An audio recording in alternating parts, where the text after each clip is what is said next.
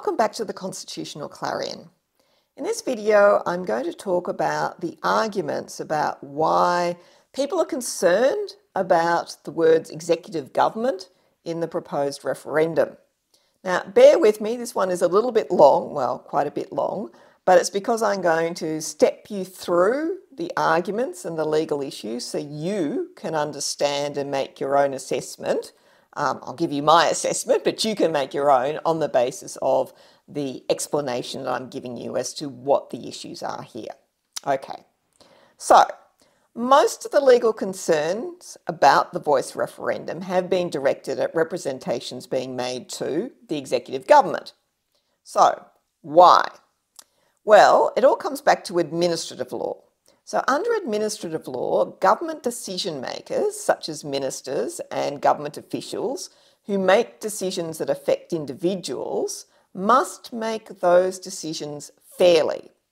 Now, we're not talking here about general policy decisions that affect everyone or large portions of the population, nor are we talking about high level political decisions that are made by cabinet.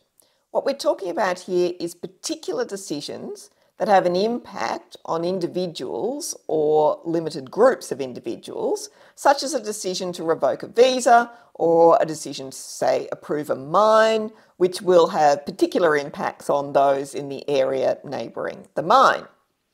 Now, part of the requirement to make a decision in a fair way, which is known as procedural fairness, is that the decision maker has to take into account what are called relevant considerations um, and must not take into account what are called irrelevant considerations. Now, some commentators have argued that every voice representation will be a mandatory relevant consideration, which every decision maker is bound to take into account when making a decision. And that if they fail to do that, then these people argue, that someone can go to court and seek judicial review of the decision, and that the court would require the decision to be made following the correct procedure. Now, the courts in this field of administrative law do not themselves determine the outcome of the decision, the merits of the decision. That's not their role. Their role is solely to determine whether the decision has been made under a fair procedure all right, procedural fairness. And if the decision hasn't been made following that procedure, then the court will send it back to the decision maker saying, do it again following the fair procedure. Under administrative law, a matter is only a mandatory relevant consideration if the statute conferring the decision making power on the official actually says so or the court implies from the term, terms of the statute that it's necessarily intended that this be a mandatory relevant consideration. And that's really important to understand to get what this whole argument's about. So let me give you an example. Section 10 of the Aboriginal and Torres Strait Islander Heritage Protection Act 1984 sets out requirements before a minister makes a legislative instrument that protects a particular cultural heritage area. Now, that process involves notice being published in a local newspaper stating that the protection is being considered and inviting interested persons to make representations. Now, then, due consideration must be given to those representations by an official who then prepares a report and the representations must then be forwarded also to the minister who's obliged to take them into account. And that process is all set out in that section of the statute. Now, these sorts of provisions exist in abundance in Commonwealth legislation and state and territory legislation. There's nothing new or scary about them. It hasn't stopped the ability of government to work, nor has it resulted in massive litigation. This is just ordinary government business and these are ordinary administrative laws that allow the courts to make sure that when the government makes those kinds of decisions, it does so fairly. But the more significant point here is that it's up to Parliament to decide whether to impose such an obligation upon a decision maker. If a court held that such an obligation was implied by the statutory provision, but Parliament then disagreed and said, no, actually, we didn't intend that, then Parliament can amend the legislation that confers the power to make the decision so that there is no obligation on the decision maker uh, with respect to this particular uh, relevant consideration. Now, ultimately, Parliament retains its control over the issue. Now, the Parliament could quite rightly decide that there are many administrative decisions in which a representation of the voice would be important, and so that the decision maker should be obliged to take into account representations of the voice, and one would expect that to be the case. But equally, Parliament could decide that in certain sorts of areas, those types of decisions should not be decisions where representations of the voice are required to be taken into account. It's a matter for Parliament, it's part of the democratic process to make that kind of assessment. And if there were problems with the system of government being slowed down because of the voice needing to have time to make representations, then the government and the Parliament could adjust the legislation to resolve those problems. Now, this is where it gets a little bit more complicated because opponents of the voice then escalate the issue by arguing that that ordinary system of Parliament deciding this thing, these things would be overtaken by the High Court drawing an implication from proposed section 129.2 in the amendment that any representation made by the voice is a mandatory relevant consideration in relation to all decisions made by decision makers that could fall within that category of matters relating to Aboriginal and Torres Strait Islander peoples. Now, they add to that implication a further implication that there's an obligation to advise the voice in advance of making that decision, provide the voice with all the relevant information about it, and provide the voice with adequate time to make an informed representation about it. And this is what people are worried about when they make arguments about the executive government in the amendment. Now, how do people get to the idea of that implication being made? Well, I think it comes from this. They draw an analogy with the implied freedom of political communication. Now, in that case, the High Court drew an implication from the text of the Constitution, sections 7 and 24 of the Constitution, which require the Houses of Parliament to be directly chosen by the people. And the argument there was that no genuine choice could be made by the people if the people are unable to obtain information and communicate about political matters such as policies and candidates. Hence, the Constitution contains an implied freedom of political communication because that freedom is necessary to give full effect to the requirement of the Constitution that the Houses be directly chosen by the people. So, this implied freedom operates to limit the power of Parliament to legislate in any way that restricts the freedom unless the law is for a legitimate purpose that's compatible with the constitutionally prescribed system of representative and responsible government and it's proportionate to that legitimate purpose. Now, using an analogy with that development, it's argued that the High Court might find that the power or capacity conferred upon the voice to make representations to Parliament and the executive government would be ineffective if the voice was not advised and informed in advance about proposed relevant exercises of legislative or executive power, and if neither the Parliament nor the executive was required to consider those representations and give adequate time for them to be made. Thus, the court might conclude, it's argued, that such an implication was intended because it is necessary to give true effect to the amendment. Okay, so that's the argument that people are making. Now, the short answer to that proposition is that the influence of the voice and the effectiveness of its representations are instead intended to be matters of politics rather than law. It's intended to be a matter for the executive government and parliament to decide how, if, and when the government or the parliament consults with the voice in advance and how they respond to those representations. Now, in some cases, as I said before, parliament might well decide that representations by the voice should be mandatory and therefore relevant considerations for decision makers. But in other cases, it might decide that that's not appropriate. Leaving this to Parliament to decide is consistent with the system of representative and responsible government that the Constitution prescribes. And that's very important when you're drawing analogies with the implied freedom of political communication. It's clear that the amendment is intended to operate this way from a number of different factors. So let me list them for you. A, the wording of the proposed amendment, because text is really important, the text of the Constitution. And this wording was very deliberately chosen so that it does not impose obligations on the executive government or parliament and gives parliament very wide powers to deal with matters concerning the voice. B, the context of the proposed amendment, and that includes the history of the development of the proposed amendment through its drafts.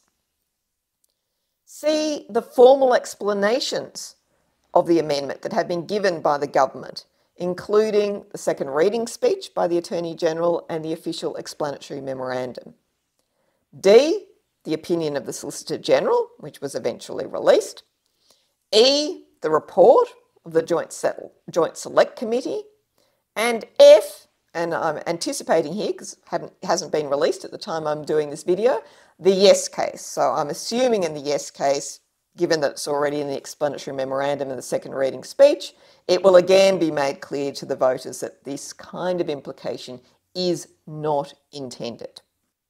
Now, going back to the implied freedom of political communication, it was much easier for the High Court back in 1992, when it first identified this implied freedom, to identify a constitutional implication in words of the Constitution that had been drafted almost 100 years earlier, because there was no evidence of any direct consideration by the framers of the Constitution of such an implication. So there was a blank slate. There was a nothingness there.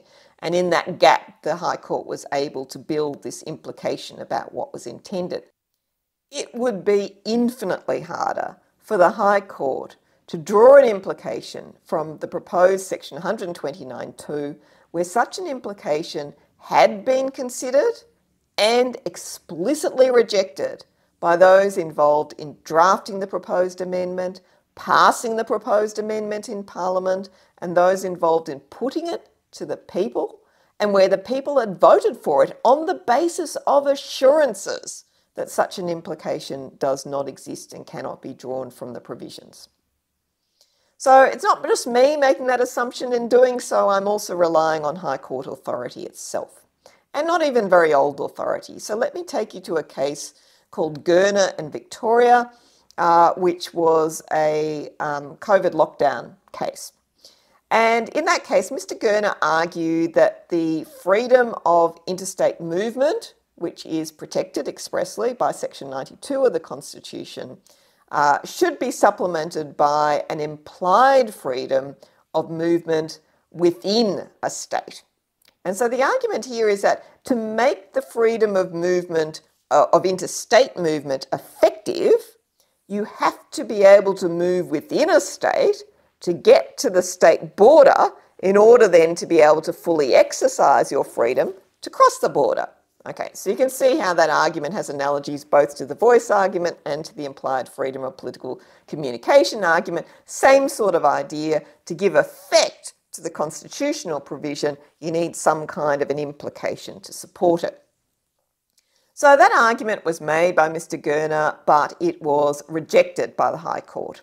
Their Honours said that this would be contrary to the terms of the Constitution, which expressly guarantees interstate, interstate movement as distinct from intrastate movement, movement within a state.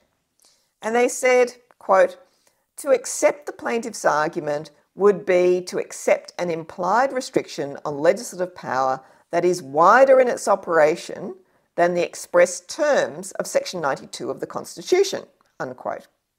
Now, the judges then focused on the text of the Constitution and they adopted an earlier finding of the High Court where they said if the text is explicit, the text is conclusive, alike in what it directs and what it forbids. But the High Court then went on to consider the mischief which Section 92 was intended to resolve, and they also referred to the convention debates of the 1890s, where it was stated that Section 92 would not remove the powers of the states with respect to preventing persons with contagious diseases from crossing state borders.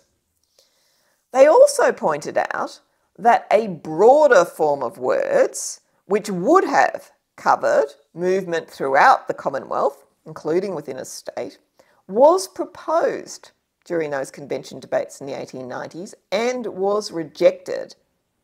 And the court concluded by stating, and this is the key quote from it all, okay, this is what they said it would be a distinctly unsound approach to the interpretation of the constitutional text actually adopted by the framers to attribute to that text a meaning that they were evidently united in rejecting.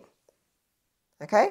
So if the framers of the Constitution are evidently united in rejecting something, it would be an unsound, in fact, a distinctly unsound approach to interpretation uh, to follow that route. Uh, now, I should say here that distinctly unsound is about as aggressive as aggressive as the High Court gets in throwing around insults. Okay, so yes, High Court says it would be distinctly unsound to interpret the Constitution in a way that the framers of the Constitution were united in rejecting. The unanimous High Court authority in Gerner from 2020 suggests how the court would approach the issue today. It would focus primarily on the text, but it would also look to what was intended. Unlike the case of the implied freedom of political communication, where there was no evidence that the framers considered and rejected the existence of such a freedom, in the case of a voice, it would be very clear what was intended. As in the Gerner case, the High Court would therefore take into account the fact that those involved in framing the amendment had expressly rejected any implication that the voice must be advised in advance of a decision, given information and time to make adequate representations, and that its representations must be considered. Now, you might think, well, that's enough in terms of barriers, but there are actually even more to that. So let me just add to this uh, further barriers to making that implication. So the first one is practicality, and the second one is that it's contrary to the High Court's previous approach in relation to constitutional implications and mandatory relevant considerations. Now, the impracticality argument has previously been put by former Chief Justice Robert French and uh, Professor Emeritus Geoff Lindell.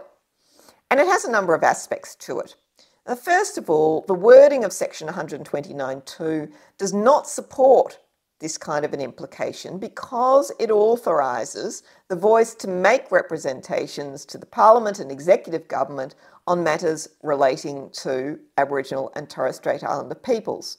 Now, drawing such an implication with respect to the representations made to Parliament would be inconsistent with the freedom of Parliament to manage its own internal proceedings and be contrary to a long line of authorities that the courts would not interfere with the internal deliberations of Parliament.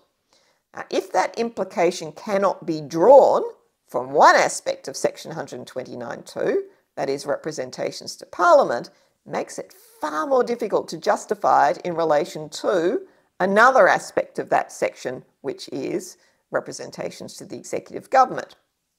But even there, once you try, start trying to apply it to representations to the executive government, you've got a second problem, and that is you've got to slice and dice that one too.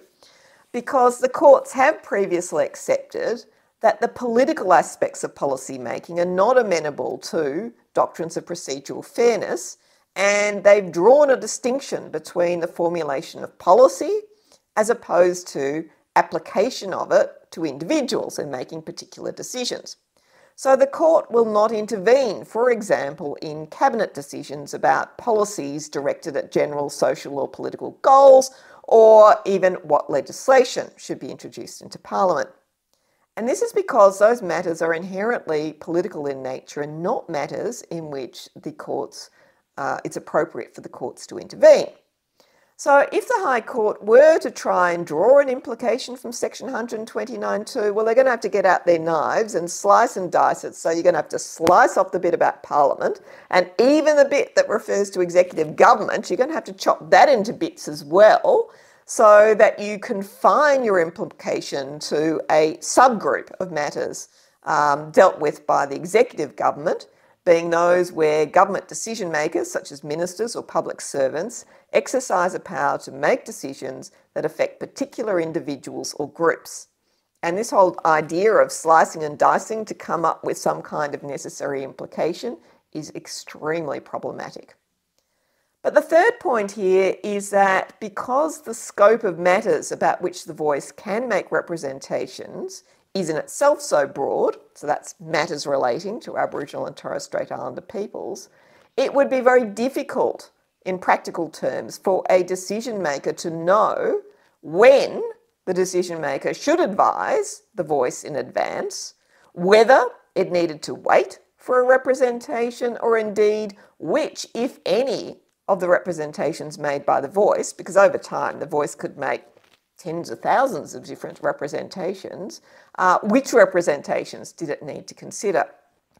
The uncertainty involved and the sheer breadth of decision making potentially affected would result potentially in quite excessive administrative burdens, not only for the government, but for the voice itself, which would presumably be flooded with information about thousands of forthcoming decisions, most of which are petty and irrelevant, um, every day. It would be unsustainable for the voice and for the government and completely impractical.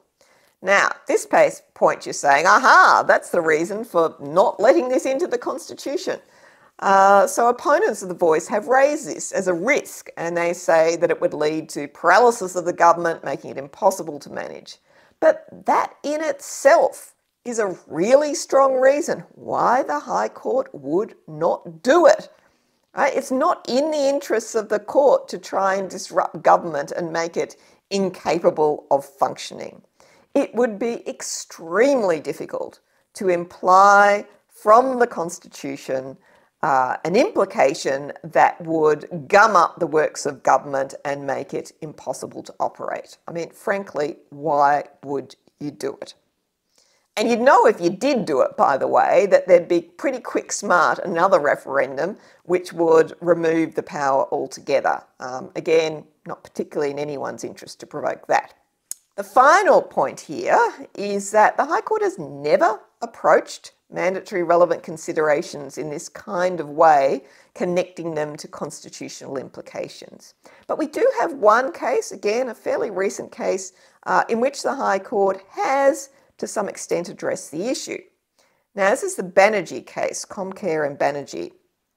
And the contention there was that a decision maker was obliged to take into consideration the implied freedom of political communication as a mandatory relevant consideration when making decisions about, uh, under the Public Service Act, about sanctioning a public service servant. And uh, the High Court rejected in a joint judgment that um, suggestion. The implied freedom of political communication, they pointed out, operates as a limit on legislative power. So it would operate as on a limit of the power conferred on the public servant under the, the Public Service Act to make decisions. But the implication itself did not operate as a mandatory relevant consideration. Their honours accepted, however, that the implied freedom of political communication could operate as a mandatory relevant consideration, but, this is the critical bit, but that it depends upon the legislation that confers the power on the decision maker. So, in other words, the existence of the constitutional implication does not itself create the mandatory relevant consideration that is applicable in relation to all decisions. It is the power It is the statute that gives the power to the decision maker, which will be what's crucial for determining whether or not any kind of implication or express requirement um, of uh, that the voice voices representations be a relevant consideration. It's the statute that does that, not the constitution. Ultimately, this is a matter for Parliament when it confers discretionary power. For all those reasons, and there have been many of them, as you've seen, I can't see the High Court drawing such an implication from the Constitution. The risk we are talking about here is really tiny. Now, some people will say, well, we shouldn't even take tiny risks when it comes to the Constitution. But if that's the case, then basically we are never going to change the Constitution because every change is going to involve some tiny kind of risk. And if that's the case, then we're stuck with a constitution that's frozen in time and becomes increasingly out of step with the real Australia that we live in today. And that, my friends, is itself a risk, and probably a much greater risk than the concern people have about this weird implication they think the High Court is going to draw. Now, just to conclude here, back in 1891, when the Constitutional Convention was formed to draft a constitution for this idea of a federated Australia joining together all the Australian colonies, so Samuel Griffith, a man who was not known to be a radical and about whom or in whose honour a fairly conservative um, society has been formed, he gave a speech to the banquet at the very beginning of that constitutional convention. And this is what he said There is no doubt that here, as everywhere, there will be timid men who are afraid of launching something new. But when was there ever a great thing achieved without risking something? Federation was a huge risk in comparison to the voice. And most of us would agree that federation actually was a pretty great thing. So thank you, says Samuel Griffith, for taking that risk. Thank you too for you to getting all the way to the end of this rather long video. Uh, well done to you. I hope it has informed you um, and will help you make your own independent assessment as to how to vote in the referendum. Thank you very much for watching and I'll see you next time. Goodbye.